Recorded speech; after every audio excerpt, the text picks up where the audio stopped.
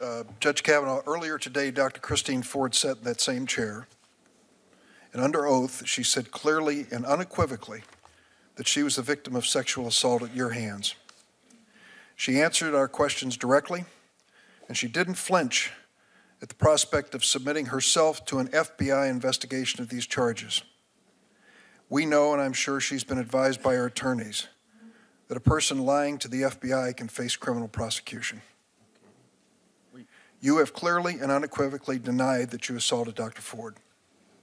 With that statement, you must believe that there is no credible evidence or any credible witness that could prove otherwise. You started off with an impassioned statement at the beginning, and I can imagine, try to imagine what you have been through or your family's been through, and I'm sure I wouldn't get close to it. But it was an No, impassioned. you wouldn't. I'm sure I wouldn't. It's an impassioned statement. And in the course of it, you said, I welcome any kind of investigation. I quote you. I welcome any kind of investigation. I've got a suggestion for you. Right now, turn to your left in the front row to Don McGahn, counsel to President Donald Trump. Ask him to suspend this hearing and nomination process until the FBI completes its investigation of the charges made by Dr. Ford and others and goes to bring the witnesses forward and provides that information to this hearing. I'm sure that the chairman at that point will understand that that is a reasonable request to finally put to rest these charges if they are false or to prove them if they are not. You spent two years in the White House office that approved judicial nominees. You turned to the FBI over and over and over again for their work. Let's bring them in here and now. Turn to Don McGahn and tell him it's time to get this done. An FBI investigation is the only way to answer some of these questions. Stop the, stop the clock. Uh, This committee is, is running this hearing, not the White House, not Don McGahn, not even you as a nominee. Uh, We're, we are here today because Dr. Ford asked for an opportunity here. I know you did too as well. In fact, maybe even before she did. We're here because people wanted to be heard from charges that they all thought were unfair or activities like sexual assault was unfair. So I want to assure Senator Durbin, regardless of what you say to Senator Don McGahn, we're not suspending this hearing. Proceed to answer the question, or whatever, or if the gentleman. I'll, uh, I'll uh, just say this. If you, Judge Kavanaugh, turn to Don McGahn and to this committee and say, for the sake of my reputation, my family name, and to get to the bottom of the truth of this, I am not going to be an obstacle to an FBI investigation. I would hope that all the members of the committee would join me in saying, we're going to abide by your wish- wishes and we will have that investigation. I, I welcome whatever the committee wants to do because I'm telling the truth. I want to know what you want to do. I, I'm telling the truth. I want to know what you want to do, Judge. I'm innocent. I'm innocent of this charge. Then you're prepared for an FBI investigation? They don't reach conclusions. You reach the conclusions. No, Senator. but they do investigate questions. I'm, I'm And you can't have it both ways, Judge. You can't say here at the beginning, I wanted a hearing. moment, Look, I welcome thing- any kind of investigation. This thing was sprung on me. This. This thing was sprung at the last minute after being held by staff. You know, Judge, and I called for no I called for a to- hearing immediately. If there is no truth to her charges, the FBI investigation will show that. Are you afraid that they might not? Come on, gee whiz. The FBI does not reach, con- you know, you know this is, you know that's a phony Well, here's- question because the FBI doesn't reach conclusions. They let's just provide the 302s. With 302s, so I can explain to people who don't know what that is, they just go and do what you're doing, ask questions and then type up a report. They don't reach the bottom This line morning, conclusion. uh, this You- morning I asked Dr. Ford, I asked her about this incident where she ran into Mark Judge at a Safeway. And she said, sure, I remember, it, six or eight weeks after this occurrence. Well, someone at the Washington Post went in and took a look at Mr. Judge's book and has been able to, the run that he wrote about his addiction and his uh, alcoholism. And they have narrowed it down what they think was a period of time, six or eight weeks after the event. And he would have been working at the Safeway at that point. So the point I'm getting to is we at least can connect some dots here and get some information. Why would you resist that Here's kind of dots. investigation? Why would you resist that kind of investigation? Senator, I, I welcome, I wanted the hearing last week. I'm asking about the FBI There, investigation. the committee figures out how to ask the questions. I'll do whatever. I've been on the phone multiple times with committee counsel. I'll talk to, Judge Kavanaugh, will you support an FBI investigation right now? I, I will do whatever the committee wants to.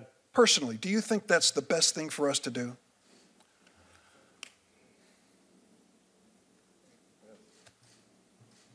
You want to answer? Look, Senator, I've, I've, I, I've said I wanted a hearing and I'd said I was welcome anything. I'm innocent. This thing was held, held when it could have been presented in the ordinary way. It could have been held and handled confidentially at first, which was what Dr. Ford's wishes were, as I understand it, and wouldn't have caused this, like, destroyed my family like this, this effort has. I think an FBI investigation will help all of us on both sides of the issue. Uh, Senator Graham asked for the floor, but before he does, it seems to me that if you want to know something, you got the witness right here to, to ask him. And secondly, if you want an FBI report, uh, you can ask for it yourself. I've asked for FBI reports in the past, in the 38 years I've been in the Senate. Senator Graham. Are you aware that at 9:23 on the night of July the 9th, the day you were nominated to the Supreme Court by President Trump, Senator Schumer said, 23 minutes after your nomination, I will oppose Judge Kavanaugh's nomination with everything I have. I have a bipartisan, and I hope a bipartisan majority will do the same. The stakes are simply too high for anything less. Well, if you weren't aware of it, you are now. Did you meet with Senator Dianne Feinstein on August 20th? I did meet with Senator Feinstein. Did you know that her staff had already recommended a lawyer to Dr. Ford? I did not know that. Did you know that her and her staff had this alleg- allegations for over 20 days? I did not know that at the time. If you wanted an FBI investigation, you could have come to us.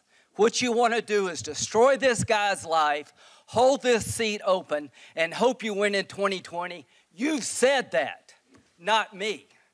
You've got nothing to apologize for. When you see Sotomayor and Kagan, tell them that Lindsey said oh, hello, because I voted for them. I would never do to them what you've done to this guy. This is the most unethical sham since I've been in politics. And if you really wanted to know the truth, you sure as hell wouldn't have done what you've done to this guy. Are you a gang rapist? No. I cannot imagine what you and your family have gone through. Boy, y'all want power. God, I hope you never get it. I hope the American people can see through this sham that you knew about it and you held it. You had no intention of protecting Dr. Ford. None. She's as much of a victim as you are. God, I hate to say it because these have been my friends. But let me tell you, when it comes to this, you're looking for a fair process. You came to the wrong town at the wrong time, my friend. Do you consider this a job interview? It- the advice and consent role is like a job. you interview. consider that you've been through a job interview. I've been through a process of advice and consent under the Constitution, which Would you say you've been through hell? I, I've been through uh, hell and then some. This is not a job interview. Yeah. This is hell. This this This is going to destroy the ability of good people to come forward because of this crap. Your high school yearbook. You have interacted with professional women all your life, not one accusation. You're supposed to be Bill Cosby when you're a junior and senior in high school. And all of a sudden you got over it. It's been my understanding that if you drug women and rape them for two years in high school, you probably don't stop. Here's my understanding if you lived a good life, people would recognize it, like the American Bar Association has the gold standard. His integrity is absolutely unquestioned. He is the very circumspect in his personal conduct, harbors no biases or prejudices. He's entirely ethical, is a really decent person. He is warm, friendly, unassuming. He's the nicest person. The ABA. The one thing I can tell you, you should be proud of. Ashley, you should be proud of this that you raised a daughter who had the good character to pray for Dr. Ford. To my Republican colleagues, if you vote no, you're legitimizing the most despicable thing I have seen in my time in politics. You want this seat? I hope you never get it. I hope you're on the Supreme Court. That's exactly where you should be. And I hope that the American people will see through this charade. And I wish you well, and I intend to vote for you, and I hope everybody who's fair minded will.